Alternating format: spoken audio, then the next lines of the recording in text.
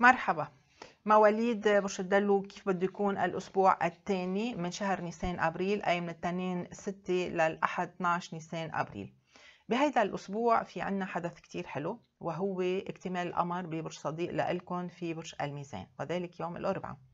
طبعا الشمس موجودة كل هالفترة ببرج الحمل الصديق لإلكم فينا نقول إنه هو أسبوع جيد أسبوع مثمر أسبوع بتكتمل فيه الأمور بسبب تأثيرات هالقمر ال full moon اللي هو super moon قمر عملاق بيساعدكم لكن ما فينا ننسى آه إذا متابعيني أو ما متابعيني بالأبراج اليومية إنه والشهريه إنه كوكب المريخ موجود ببرجكم كل هيدا الشهر وأيضا كوكب زحل فخلونا نشوف كيف بده يكون هيدا الأسبوع. البداية مع يوم الاثنين. يوم الاثنين 6 نيسان أبريل القمر موجود ببرج العذراء يلي هو آه، برج سموح تقريبا بالنسبة لكم ما عم بحكي عن البرج أو أشخاص برج العذراء عم بحكي طاقة القمر من برج العذراء. دايما أنا لما بكون عم بحكي عن التوقعات الفلكية اليومية أو الشهرية والأسبوعية بكون عم بحكي عن نوع الطاقة من آه، القمر مش عن برج شخص معين. إذا يوم الاثنين 6 نيسان أبريل طاقة القمر من برج العذراء نوعها سموح بيساعدكم. بيساعدكم لتردوا الأمور لمجراها الطبيعي. بيساعدكم لأنه بيفتح قدامكم أكثر من فرصة لحتى ترجعوا تظبطوا وتغيروا وتحدثوا وتطوروا علاقة أو ظرف معين. فما لي إذا اعتذرتوا إذا بتلاقوا إنه في ضرورة للاعتذار ليش لا؟ المسامح كريم. في احتمال يكونوا مشغولين التنين أيضا بكتير من الأمور أوراق معاملات عم تشتغلوا عليها. ومع ليش لا هيدي الأمور بتفيدكم لحتى تقدروا الثلاثة والأربعة تقطفوها وتاخدوا الأفضل لإلكم. ليش؟ لأنه الثلاثة والأربعة القمر رح بيكون موجود ببرج الميزان الصديق لإلكم وأصلا رح يوصل وبيبقى ببرج الميزان 48 ساعة تحديدا. من التنين الساعة 9 و17 دقيقة Universal Time حتى الأربعة مساء 8 و18 دقيقة Universal Time. يعني بتوقيت بيروت الصيفي من الساعة midnight منتصف الليل 2 3 حتى الأربعة الساعة 11 وثلث المساء توقيت بيروت الصيفي.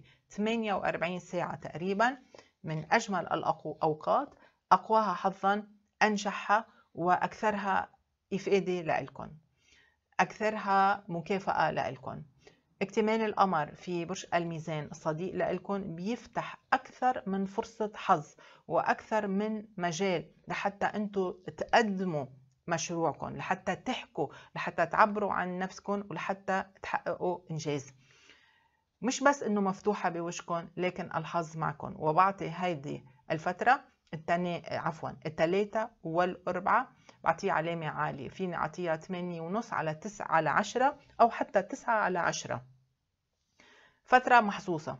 وهي من أجمل أيام هذا الأسبوع أكثرها حظا. وهي اللي بتطلب منكم أنه كل شغلكم الثقيل كل شغلكم المهم حطوه الثلاثة والأربعة ما بتندموا. لأنه في قمر مكتمل هذا معناتها أنه في طبخة استوت. مشروع استوى. فكرة انتهت. وفي احتمال إنه في خط عريض في فكرة في مشروع في قرار قد يحسم أو أنتم بتحسموه وبتنطلقوا بمسار جديد وتوجه جديد. يعني مثلا يمكن الجامعة بتبعت لكم جواب في جواب نهائي. قبول أو رفض مفروض يكون قبول هذه الفترة. يمكن ناطرين جواب من مؤسسة مفروض إنه يوصل الجواب. حابين تنتقلوا من مرحلة لاخرى هيدي المجال هيدي الفترة بتفتح قدامكم حابين تطرحوا مشروع مشروع وخايفين أي فترة بدكم تنقوها وتختاروها؟ أي يوم هو كثير الحظ؟ الثلاثه والأربعة. الخميس والجمعة أنتم تحت الأضواء. أنتم تحت الأضواء. بدكم تحكوا بدكم تفسروا بدكم تكونوا واضحين بأفكاركم بدكم تكونوا شاغلين عاملين شغلكم بدكم تكونوا بتتحلوا بحس عالي من المسؤولية. الخميس والجمعة متعبين لكن لكن مهمين جدا. ما فيكم تتخبوا ما فيكم تنعزلوا وما فيكم تختفوا وتعطوا أعذار إنه ما اشتغلتوا ما خلصتوا ما حضرتوا شغلكم مطلوب منكم تقديم أداء معين. أنتم تحت الأضواء والأخطاء رح بتبين. لكن أيضا الشغل الجيد كمان رح يبين. الخميس والجمعة يومين مهمين جدا ما فيكم تستخفوا فيهم. لكن بيحملوا بعض التقلبات المزاجية وشوية ضغط. السبت والأحد هنالك ارتياح هنالك انفراج هنالك شوية ترفيه عن النفس هنالك غياب للغيوم العاصف للغيوم الفلكية. هنالك فرح وهنالك صداقات أو نوع من هيصة معينة. بدكم تأخذوا بعين الاعتبار طبعا إنه كلنا موجودين تحت تأثيرات الكورونا كلنا قاعدين ببيوتنا عم نشتغل من بيوتنا. فما تنسوا إنه في ناس من حولنا في الأهل من حولنا الأولاد من حولنا يعني في ضغوط إضافية. فبدكم تأخذوا كل هالأمور بعين الاعتبار. وما تنسوا تختاروا الأيام الأكثر حظا والانجح لعملكم المهم تأثيرات كوكب المريخ هذا الأسبوع بتنبه مواليد 24 ل 29 كانون 2 يناير من السرعة من التسرع من المجازفات كليا. كوكب المريخ يجلب المشاكل.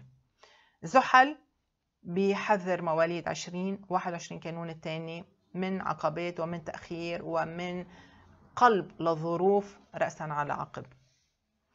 بدي أتمنى للجميع أسبوع حلو. إلى اللقاء مع أبراج يومية شهرية أسبوعية كلها بتلاقوها وحتى سنوية بتلاقوها بالوصف بتلاقوا كل الروابط حتى لفيديوهات أخرى حلوة كتير. شكرا لكم. bye bye.